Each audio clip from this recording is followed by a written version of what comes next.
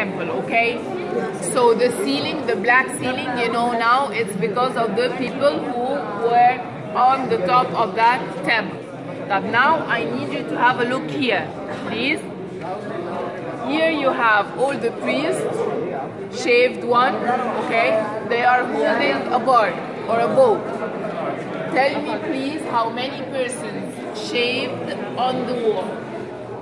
Tell me how many persons do you have just in front of you? Seven, seven, seven, seven. I'm gonna tell you.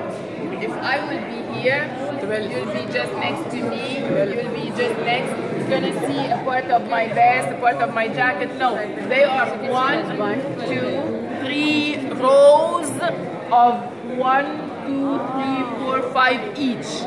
So they are three queue of five persons.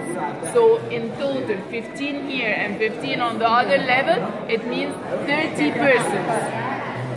And the 31st will be the high priest with the leopard skin on his body. He should be, be with the leopard skin.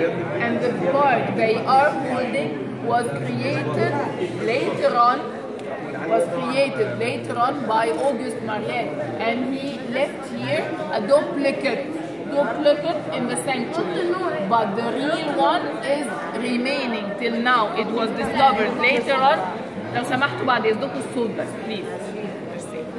so the duplicate is here in the temple and the real one is at the Louvre Museum in Paris.